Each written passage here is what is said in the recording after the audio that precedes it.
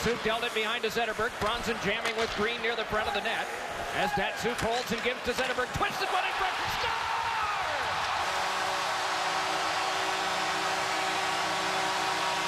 Johan Franzen, 3 to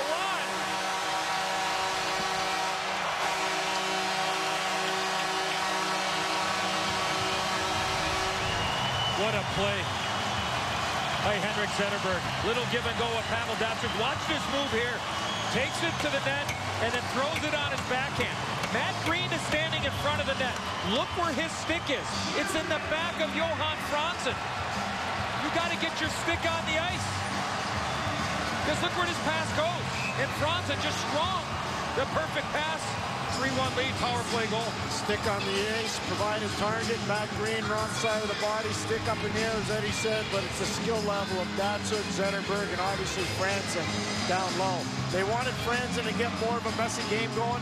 He's been doing that the last seven to ten games for Detroit, competing much harder physically. Uh, you can see what he was battling with Matt Greene in front of the net with the sticks and jousting everything else. But you're going to defend like that, you got to make sure you get that position Pierre's talking about. But if you can't, you got to get your stick on the ice.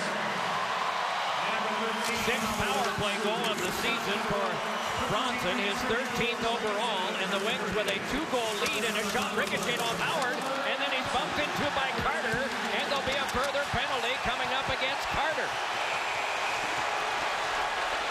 And the last time Jeff Carter was on the ice, he lost his two front teeth.